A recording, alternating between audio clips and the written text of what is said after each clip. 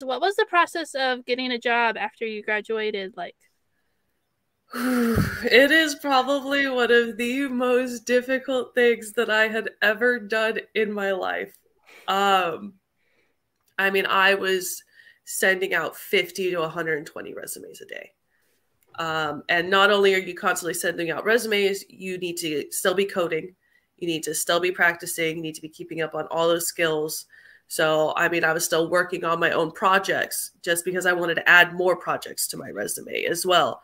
Um, and the interviews, I mean, every single time I did an interview, I was like, well, this is a new thing I need to learn and study for and figure out. And then the technical interviews, I mean, some of them were crazy difficult. And I just felt lost and confused. And I would write down everything when I was doing these technical interviews, like anything I didn't understand how to do or that I needed.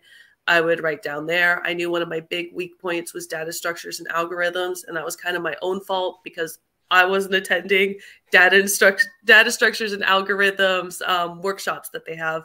I think it's two or three times a week they do these, and so I had to get better about making sure I was attending those and doing them, and continue working on you know LeetCode in my own time. I mean, I was probably either studying coding or sending out resumes for eight to ten hours a day.